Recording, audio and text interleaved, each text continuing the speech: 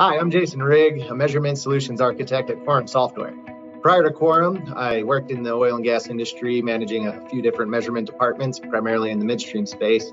Um, and so I was a long time FlowCal customer before I had the opportunity to come on board and help lead the, uh, the charge in, in designing future implementations for customers.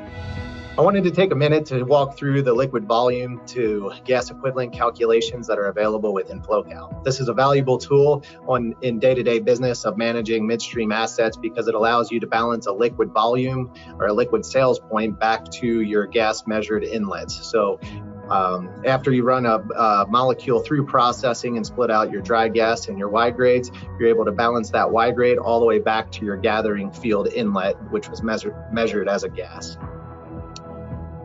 In FlowCal, in the volume editor, you're able to see this calculation on an hourly basis. Here we have a Y grade meter on the outlet of a plant, and you can see our liquid volumes coming in.